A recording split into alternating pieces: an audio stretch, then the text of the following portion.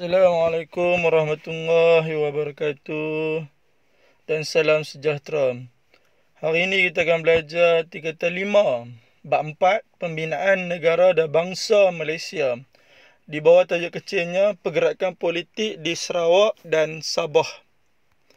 Okey, sebelum cikgu mengajar, cikgu minta semua guru dan pelajar untuk subscribe video cikgu ni agar cikgu boleh menambah lagi tajuk-tajuk yang lain. Okey, tengok untuk pergerakan politik di Sarawak ada lima perkara yang akan dipelajari. Yang pertama, sebab penyerahan Sarawak kepada British. Yang kedua, persatuan yang menentang penyerahan. Yang ketiga, sebab penentangan. Yang keempat, cara penentangan. Dan yang kelima, tindakan British kepada para penentang. Okey, tengok satu dulu. Yang pertama, faktor atau sebab Charles Vainer Brooke menyerahkan Sarawak kepada British. Sebab yang pertama, tua atau uzur. Yang kedua, desakan kerajaan British. Yang ketiga, sokongan pegawai British dan bukan bumi putera. Berapa orang yang sokong? Dua orang. Dua pihak yang menyokong. Pegawai British dan bukan bumi putera. Pentadbiran penggantinya iaitu Anthony Brooke. Tidak berkesan. Keluarga yang sentiasa bertikai atau berselisih faham. Keluarga ini sentiasa bergaduh. Yang terakhir masalah kewangan selepas Perang Dunia Kedua untuk membangunkan semula Sarawak. Dia punya formula sebab-sebab macam mana beruk serah Sarawak. Tupai duk sokong tapir menggantikan keluarga Musang. Keluarga Musang ni tak nak nak apa? Nak tapir. Jadi tupai sokong siapa? Sokong tapir. Sebab dia tak nak keluarga Musang. Okey tengok penerangan formula. Tupai merujuk pada tua, persamaan pada huruf TU di depan. Duk merujuk pada desakan, persamaan pada huruf D di depan. Sokong merujuk pada sokongan. Sokongan berasal dari perkataan sokong. Tapi merujuk pada pentadbiran. Pentadbiran berasal dari perkataan takbir, persamaan pada huruf TA di depan. Menggantikan merujuk pada penggantinya. Persamaan pada perkataan ganti. Keluarga merujuk pada keluarga musang merujuk pada masalah iaitu persamaan pada huruf M dengan S di tengah-tengah. Jadi formula Charles Vainer Brook serah Sarawak pada British ialah tupai duk sokong tapi menggantikan keluarga musang. Okey kita ulang balik. Tupai merujuk pada tua atau uzur. Duk merujuk pada desakan British. Sokong merujuk pada sokongan dua pihak iaitu pegawai British dengan bukan bumi putera. Tupai duk sokong tapi tapi merujuk pada pentadbiran penggantinya iaitu Anthony Brook tidak berkesan. Tupai duk sokong tapi menggantikan Musang. Musang merujuk dah. Musang merujuk pada masalah kewangan selepas perang dunia kedua. Okey, tengok seterusnya. Persatuan yang menentang penyerahan. Ada lima persatuan. Yang pertama, Persatuan Kebangsaan Melayu Sarawak. Singkatan dia PKMS. Yang kedua, Persatuan Melayu Sarawak. Singkatan dia PMS. Tengoklah. PKMS dengan PMS hampir sama. Cuma beza dekat huruf K iaitu kebangsaan. Jadi ada dua. PKMS dengan PMS. Persatuan Kebangsaan Melayu Sarawak dengan Persatuan Melayu Sarawak. Dua-dua ni hampir sama. PKMS, PMS. Dan yang ketiga, Barisan Pemuda Melayu Sibu, BPM. Dan Barisan Pemuda Sarawak. Ada berapa Barisan Pemuda? Dua. Barisan Pemuda Melayu, Barisan Pemuda Sarawak. BPM dengan BPS. Tadi ada berapa Persatuan Melayu Sarawak? Ada dua. PKMS dengan PMS Persatuan Kebangsaan Melayu Sarawak dengan Persatuan Melayu Sarawak. Ada berapa barisan muda? Ada dua. Yang pertama Barisan Pemuda Melayu BPN dengan Barisan Pemuda Sarawak BPS. Dan satu lagi adalah Persatuan Dayak Sarawak PDS. Okey tengok yang ketiga. Sebab-sebab penentangan. Yang pertama, Anthony Brook harus ditabarkan sebagai Raja Sarawak. Ini permintaan daripada Barisan Pemuda Melayu, BPM. Selain ada BPM, ada satu lagi. BPS, Barisan Pemuda Sarawak. Okey, yang kedua, pemimpin tempatan tidak berapa hati atau geram kerana keputusan dibuat tanpa berunding dulu dengan mereka. Yang kedua, mereka geram kerana gera. Apa persamaan geram dengan gera? Persamaan daripada empat huruf awal. G-E-R-A. Sebab tu geram merujuk pada gerel. iaitu Gera T. McBrien menggunakan tipu muslihat mendapatkan persetujuan pemimpin-pemimpin tempatan. Cikgu ulang lagi. Pemimpin tempatan berpuas hati tak? Tak, mereka tak puas hati. Malah geram lagi. Pasal apa mereka tak puas hati? Yang pertama, keputusan dibuat tanpa berunding dengan mereka dahulu. Yang kedua, geram. Pasal apa geram? Geram dengan gera. Geram kepada gera T. McBrien kerana mendapatkan tanda tangan pemimpin tempatan dengan cara tipu muslihat. Geram Girl. Okey, sebab yang ketiga bercanggah perlembagaan 1941 iaitu pemberian kerajaan sendiri kepada rakyat Sarawak. Sebaliknya, Sarawak diberikan kepada British atau dijajah oleh British.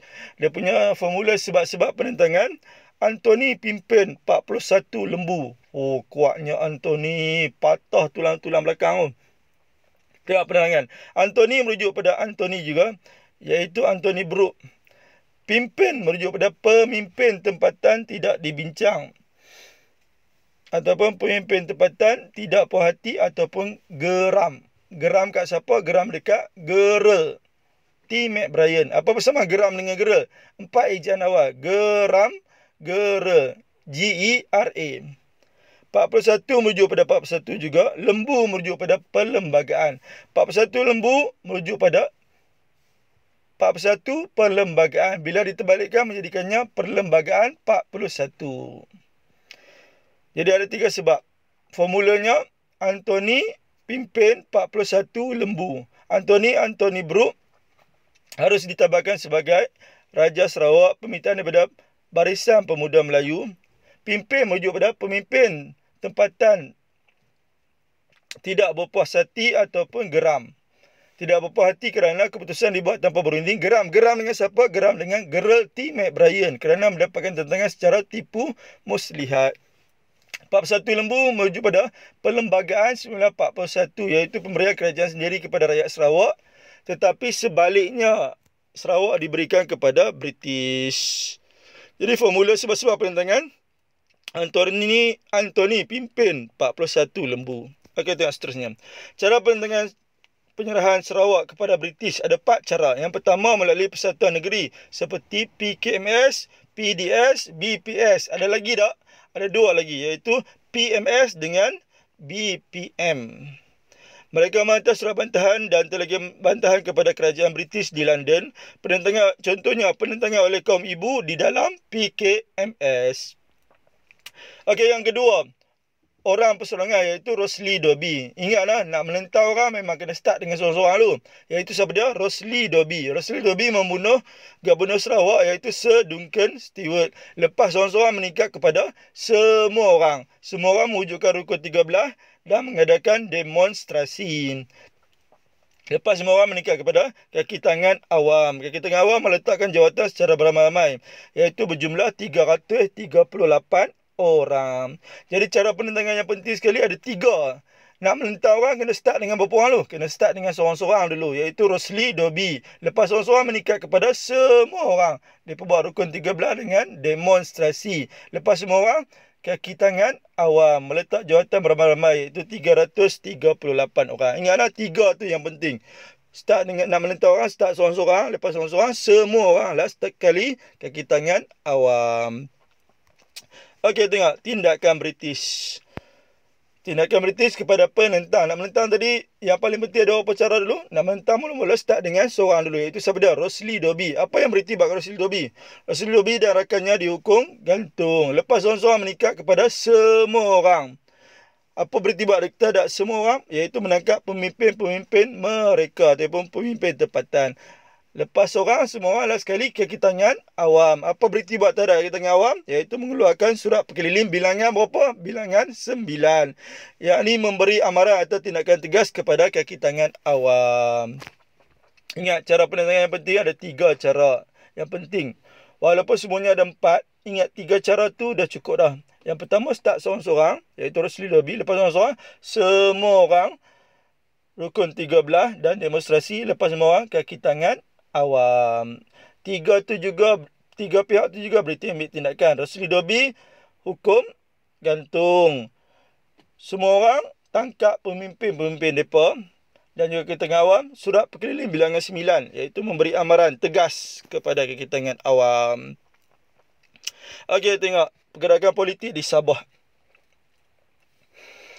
Kalau di Sarawak menunjukkan penentangan, manakala di Sabah, penyerahan Sabah kepada British tidak mendapat tentangan yang jelas dari penduduk tempatan. Mereka tak menentang pun. Kerana yang pertama, kesedaran politik di Sabah agak perlahan. Yang kedua, sosioekonomi saja diberi perhatian oleh persatuan. Yang ketiga, masalah komunikasi atau perhubungan. Yang keempat, tidak bersatu padu antara masyarakat kerana faktor geografi atau bentuk muka bumi. Yang kelima, pendidikan yang rendah tahapnya dan yang keenam pemimpin yang tidak berkaliber. Dia punya formula pergerakan politik di Sabah ialah sedar sub ekor musang tidak dididih pemimpin. Kalau sebab-sebab penyerahan di Sarawak tadi formulanya merujuk pada apa? Formulanya merujuk pada tupai duk sokong tapi menggantikan keluarga musang. Tapi kalau yang ni sedar sub ekor musang tidak dididih pemimpin. Bermaksud sebab-sebab penyerahan Sarawak tu sebab-sebab penyerahan tu depa lebih sokong musang ke tapi di sebab-sebab penyerahan Sarawak lebih sokong pada tapi sebab tu tapi menggantikan keluarga musang. Tapi kalau sebab-sebab penyerahan Sabah pula lebih sokong kepada musang. Sebab apa musang? Sebab musang boleh buat sup ekor. Jadi formulanya sedar sedar sup ekor musang tidak dididih pemimpin. Okey tengok formula penerangan formula. Sedar merujuk pada kesedaran, sup ekor merujuk pada sosioekonomi. Sosioekonomi ada dua perkataan, sosio dengan ekonomi. Sosio ejaan bermula pada huruf S menjadikannya sup ekonomi. Ekonomi ni tengok tiga yang tepat. Yang tiga ejaan awal EKO menjadikannya ekor. Jadi sub ekor merujuk pada sosioekonomi. Musang merujuk pada masalah. Persamaan pada huruf M dengan S di tengah-tengah. Tidak merujuk pada tidak, iaitu tidak bersatu padu. Dididih merujuk pada pendidikan. Pendidikan berasal dari perkataan didik. Persamaan pada empat huruf awal. DI, DI. Dan pemimpin merujuk pada pemimpin juga. Jadi formula pergerakan politik di Sabah ialah sedar sub ekor musang tidak dididih pemimpin.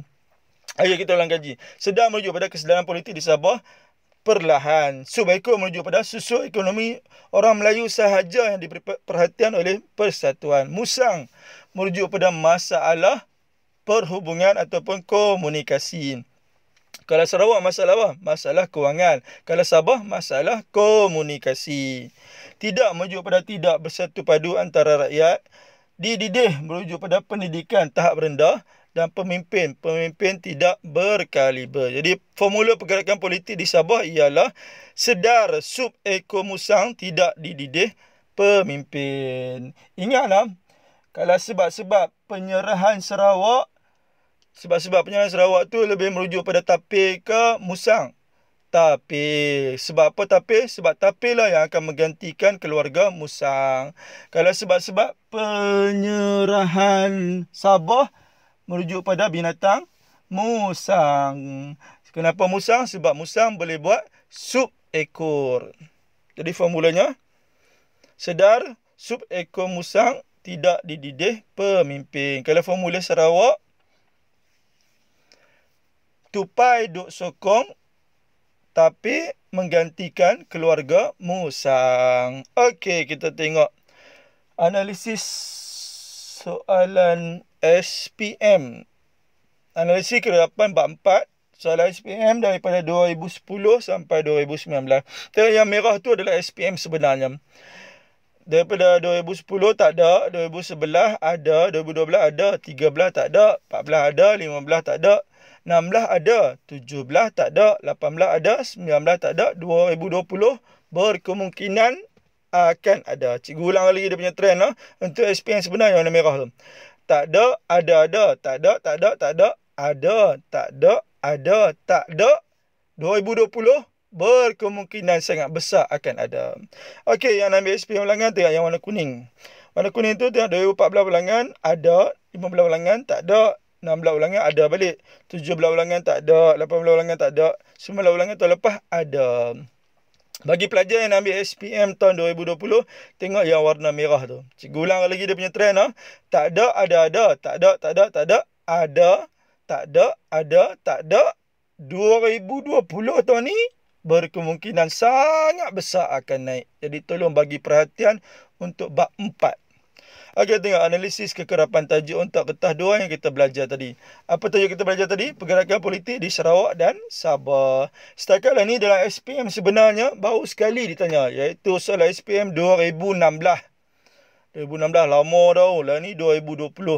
Berkemungkinan tajuk ni akan ditanya lagi tak? Ya, berkemungkinan akan ditanya semula. Sebab kalau tengok SPM sebenarnya baru sekali tu je ditanya pergerakan politik di Sarawak dan Sabah. Jadi tolong bagi perhatian untuk tajuk ini. Manakala SPM ulangan tahun lepas dah ditanya pergerakan politik di Sabah dan Sarawak. Walau bagaimanapun SPM ulangan tidak mempengaruhi SPM sebenarnya. Ingat SPM sebenarnya bila tajuk ni dinaik 2016 iaitu 4 tahun yang lepas. Jadi tajuk ni pun sangat penting tolong bagi perhatian. Okey kita tengok contoh soalan. Ini contoh soalan struktur. Makanya 2 4 4. Okey tengok satu-satu dulu. Okey soalan A, nyatakan dua buah persatuan yang membantah tindakan tersebut. Apa kehendak soalan? Dua buah persatuan. Okey, tadi semua persatuan yang menentang ada berapa? Ada lima persatuan. Yang pertama PKMS, yang kedua PMS, yang ketiga Barisan Pemuda Sarawak, kemudian Barisan Pemuda Melayu. Barisan Pemuda Sarawak BPS, Barisan Pemuda Melayu BPM dan last sekali PDS. Okey, jadi PKMS tu merujuk pada Persatuan Kebangsaan Melayu Sarawak. PMS Persatuan Melayu Sarawak. Tengok di ruangan jawapan soalan struktur ni ada satu roman, dua roman tak? Ya, kalau ada satu roman, dua roman, jadi jawab terus. Jadi tulis terus ya, Persatuan Kebangsaan Melayu Sarawak ataupun PKMS dan Persatuan Melayu Sarawak ataupun PMS. Okey, tengok soalan B. Mengapakah Baina Brook menyerahkan Sarawak kepada British? Apa kehendak soalan? Bulatkan mengapakah. Mengapakah merujuk apa? Sebab. Okey, apa yang kedua? Vaina Brook menyerahkan Sarawak. Ada formula tak Vaina Brook serahkan Sarawak? Sebab-sebab Vaina Brook serah Sarawak ada formula tak?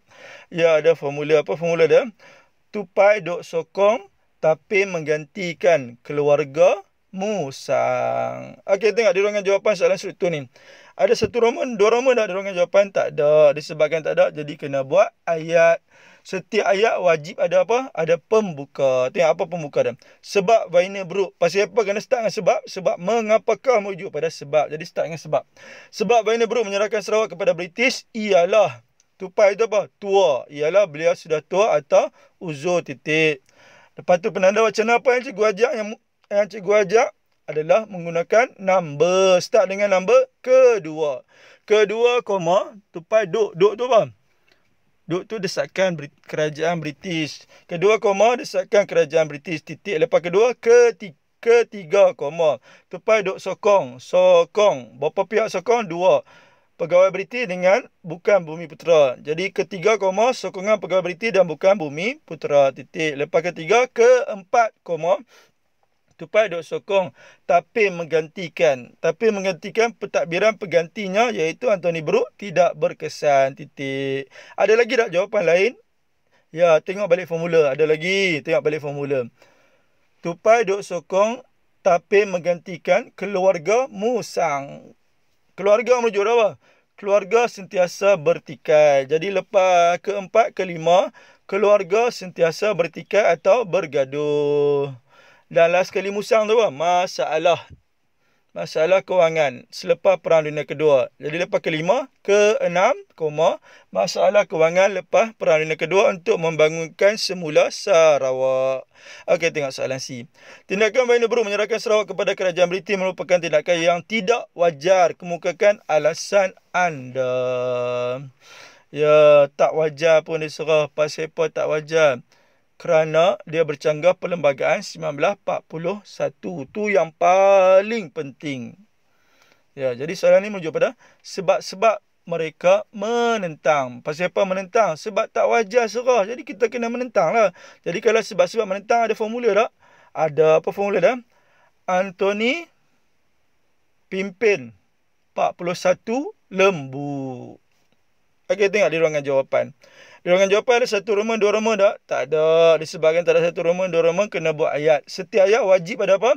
Ada pembuka. Tengok apa pembuka dia. Tindakan Perdana Buruk menyerahkan Sarawak kepada kerajaan British merupakan tindakan yang tidak wajar kerana bercanggah Perlembagaan 1941 iaitu pemberian kerajaan sendiri kepada rakyat Sarawak. Tetapi Sebaliknya Sarawak diserahkan kepada British ataupun Sarawak dijajah British. Titik. Penanda wacana apa yang juga ajak? Guna number. Jadi start dengan kedua, koma. Pemimpin tempatan tidak berpuas hati ataupun geram kerana keputusan dibuat tanpa berunding dengan pemimpin tempatan. Titik. Ketiga, pasal pemimpin tempatan geram? Geram dengan gera iaitu Gerati McBrien. Ketiga koma Gerati McBrien menggunakan tipu muslihat dalam mendapatkan persetujuan pemimpin-pemimpin tempatan. Ada lagi tak sebab lain? Tidak wajar. Ya, sebab lain iaitu Anthony Brook. Macam mana nak memulakan ayat? Lepas ketiga, keempat. Ya, keempat, koma. Anthony Brook diminta untuk dijadikan Raja Sarawak titik permintaan itu disuarakan oleh Barisan Pemuda Melayu. Okey, kita tengok contoh soalan esei. Ini soalan esei, markanya 488. Okey, tengok satu persatu. Soalan A dulu. Mengapakah rakyat Sabah tidak menentang tindakan British menjadikan Sabah sebagai tanah jajahan mahkota? Apa kehendak soalan? Mengapakah dulu bulatkan merujuk pada sebab. Apa kena kedua rakyat Sabah tidak menentang. Bila disebut Sabah ingat balik formula. Sebab-sebab yang Sabah tadi, sebab-sebab Sabah tidak menentang dan lebih merujuk pada binatang. Tapi kan musang?